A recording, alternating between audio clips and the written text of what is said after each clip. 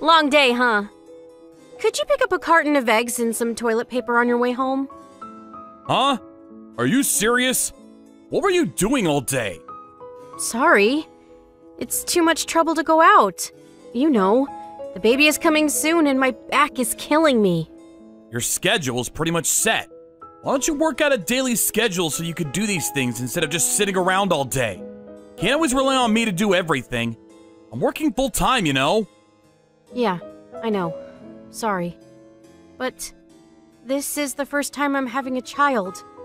I really don't know what to expect or how, as you say, schedule things.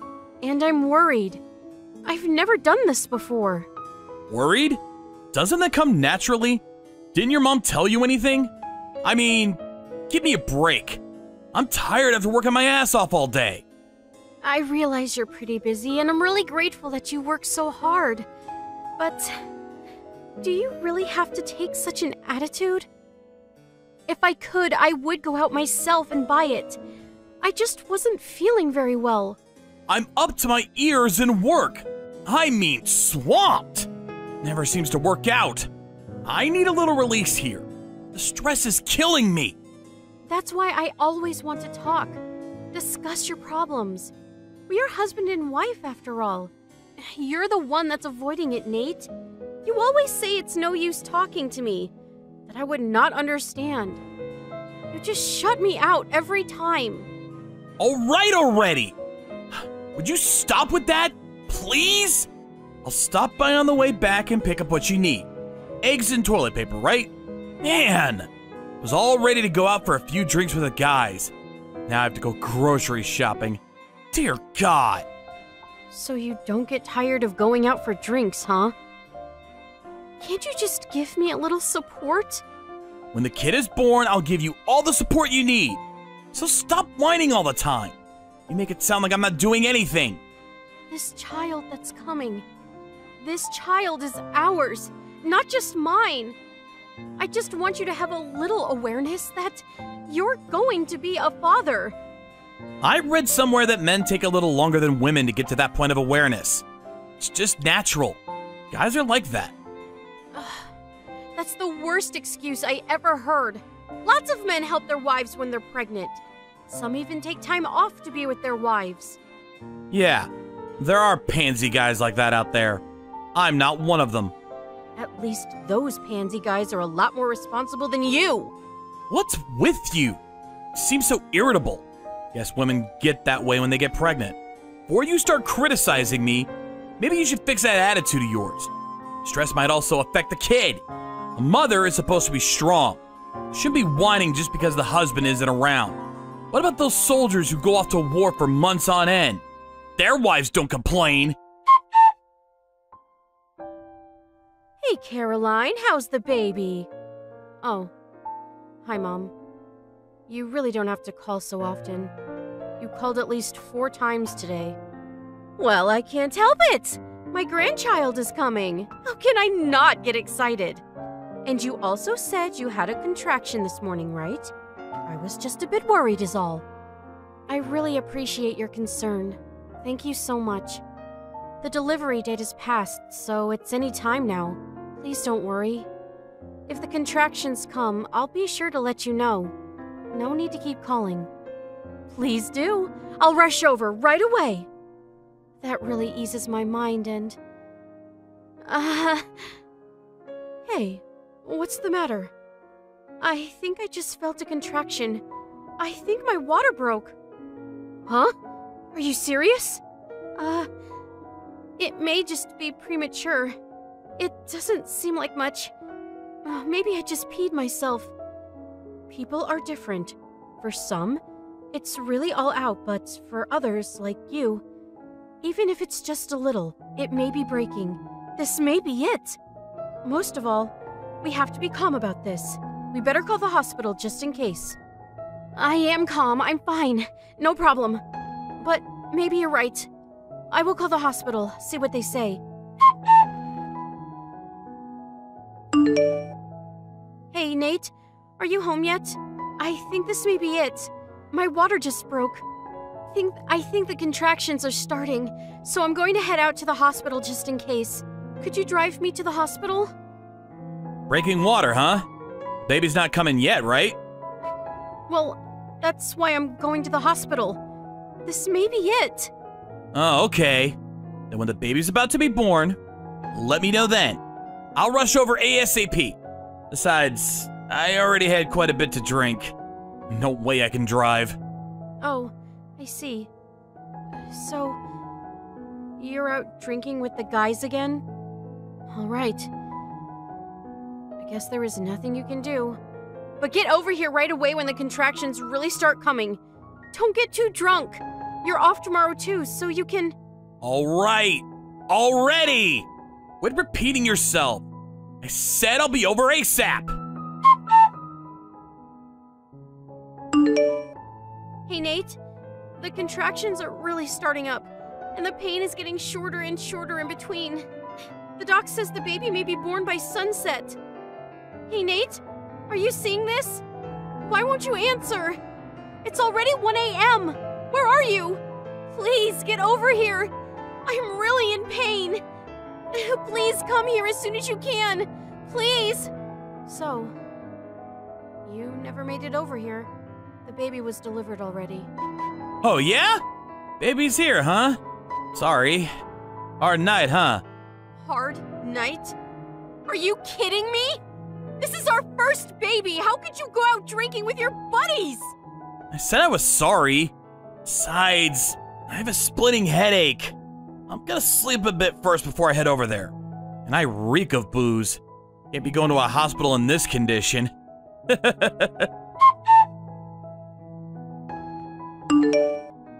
Aren't you coming to the hospital? I mean, it's almost noon for God's sake. Uh, come on, Mom. Get off my back. I said I would be right over. I have a really bad hangover. I can hardly move. Give me a break. Your wife just had your child. How could you be out drinking at a time like this? She even called you last night and told you she was having contractions. My God! What's going on in that little head of yours? Caroline is just so whiny. Always talking back. I'm tired of it. I mean, come on. What's a little contraction?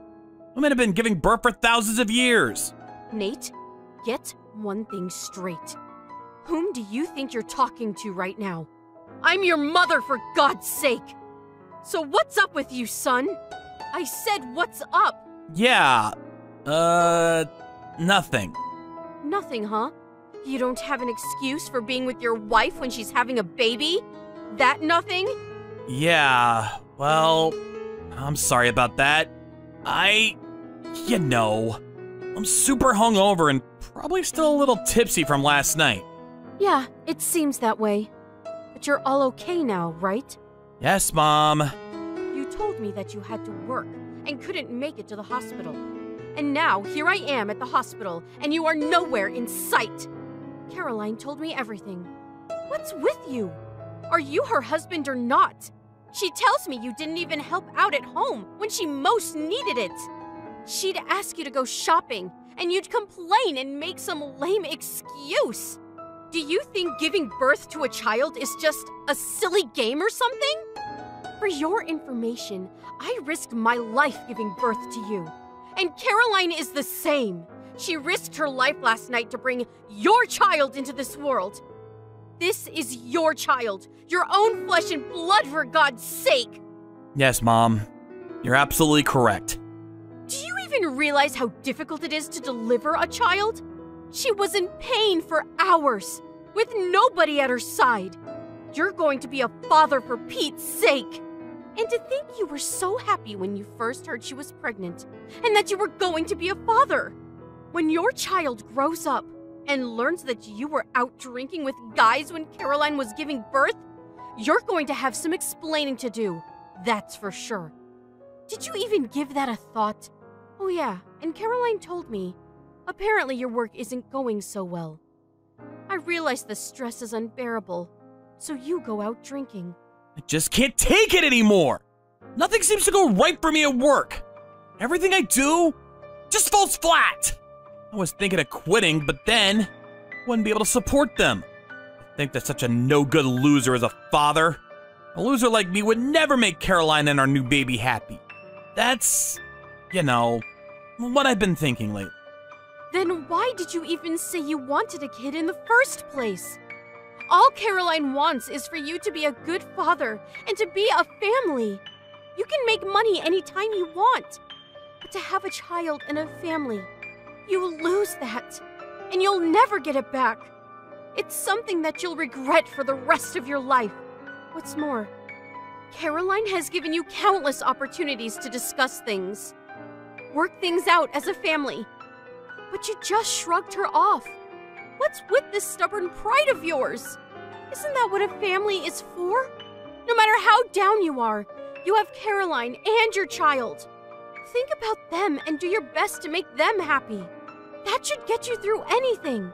What's more important is the relationship between a wife and a husband. You should always talk things out. Trust each other. And that means talking about the good and the bad. Think long and hard about what I said. You need a little dose of reality. And until you do, I'm taking Caroline and the baby back to my place. When you're ready, call us. You got that, son? Huh? Back to your place? This is Caroline's idea. She doesn't want to see you right now after what you pulled. She said she'd rather stay with me for the time being. Apparently, she feels a lot more comfortable and safe being with me. She needs someone to take care of her. She says she's scared that things won't work out between you two. I'm more than happy to take care of her. What's more, her parents were all for it. I can handle things. Don't worry about it. I'll do all the chores. I can handle this. No need for you to go out of your way. What do you mean by handling things? Uh, I mean, you know, clean up and do the shopping. Stuff like that. Make things easier for her. There you go again. That's where you're wrong. You really don't get it, do you? You're working. You're not going to be able to handle it all by yourself. Besides, taking care of a baby and supporting your wife is not some half assed job that you do on the fly. It's something you have to do as a father. It's common sense. Let me ask you this, son. Whose child is this? Mine. It's my kid. Yup, you got that right. You make it sound like you're doing the chores as some sort of job, as some stranger would do. He's your kid. Yeah, I get it, Mom. So, for now, I want her to get some rest and not have to worry about chores or going out shopping on her own. She's staying with me for a while. Also, I plan to talk to Caroline and her folks about measures that need to be taken in the future. I'll be at the hospital within the hour. So please. Hello, Nate. Sorry I didn't get back to you. Caroline! Don't worry about it. You didn't have to call me. I did nothing for you. I'm a loser. Please, I don't ever want to hear you say that again. I'm really sorry. I heard all of it from your mom and dad. They told me you went to my folks' place every day after work. They told me you apologized to them over and over. I'm really sorry. I didn't know what got into me. Maybe I was just scared to be a dad. I just couldn't face up to reality. I plan to stop by every day until you forgive me. You also stopped by here every day too, right? Please forgive me. I just didn't know how to face you. I asked your mom to cover for me, to tell you I didn't want to see you. Yeah, I don't blame you. I was such a jerk. How are you? Are you feeling better? I don't suppose you'll be coming back home anytime soon. Yeah, it's really comfortable here. I can relax and focus on taking care of the baby. But it's funny. I seem to have a lot of time to relax, but then again, there never seems to be enough time. I know. Sounds weird, huh? No, I get it. Not weird at all. It's all my fault. Real jerk. But I'm thinking of going home pretty soon. I know you're really trying. I heard from your mom. She really gave you a dressing down, huh? She said you're doing all the household chores, cooking yourself. doing the laundry. You made all the preparations so that we can come home anytime, right? I also heard that you're not going out drinking with the guys much. Yeah. Actually, I haven't had a drink since that day. I was wrong. I was too reliant on you. I should have been taking better care of you. I screwed up my priorities. Well, it's easy to just talk, you know? You don't trust me after how I treated you. It's not something that you can forgive just like that. I figured I would do all I can. Do the right thing.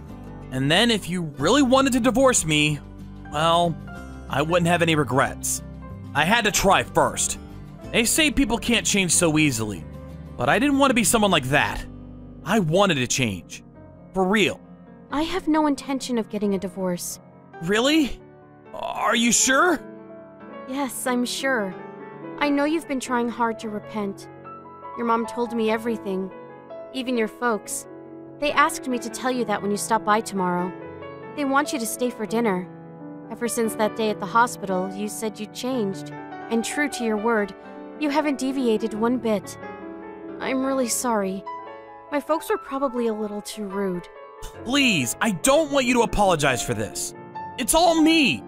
I'm the bad guy here. But I appreciate it.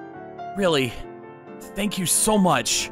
But I have no problem apologizing to my folks and showing them gratitude. But you really should apologize to your mom. She's the one that really took care of me and got you to change. She's busy with her own stuff, but she still takes time to look after me. You really owe her, you know that, right? Yeah, I know. I'll take the time to talk to her. I'll make sure to thank her for all she's done for you. For us. Just remember, just because I come home, it doesn't mean things will get easier for you. As a matter of fact, it's probably going to be harder. Of course, I will do as many household chores as I can, but I do have to take care of our child. It's a full time job. Just be a good father. Can you do that? You can count on me. I'm not going anywhere. And about work, I'll take time and explain it all to you. Yeah, let's talk it out. I know how you feel not being able to do your job properly. It's frustrating. You may feel down at times, but I want to be by your side and support you whenever possible. I realize you have pride, but don't try and figure it out all by yourself. I'm here for you. We're husband and wife, after all. Please don't ignore me. You're not a loser. I have faith in you, Nate. I always have. I'll be back home next week. Thank you. I won't let you down. I will try even harder once you return. You can bet on it. But it's not just me that's coming home. Yeah, I know. Our son, right? No, it will be the three of us. Your mom is joining us too. My mom? Of course. What if I return with our son and all the household chores, the cooking and cleaning? What if you decide that it's too much? What then? I'm returning to a husband who was out partying with his buddies when I was giving birth. I mean, you understand. I'm sorry, but I still can't trust you. I need a backup plan if things go sour. It's not only for me, it's also for our son. Yes, of course. I understand. Uh, Caroline, you've changed. You seem way more assertive. I suppose a little of my mom rubbed off on you. Uh, Nate, I think it was you who said, a mother has to be strong. After giving birth and moving in with Nate's mom, I asked Nate's friend about him. They all said he quit drinking and would hurry to my parents' place after work and apologized profusely for his despicable conduct. He also came to my mother in law's place, but she shooed him away every time. This went on for over three weeks. Every day. Even on the weekends. After three weeks of showing up every day, my parents finally relented and forgave him. They said he broke and cried. After that, I promised him.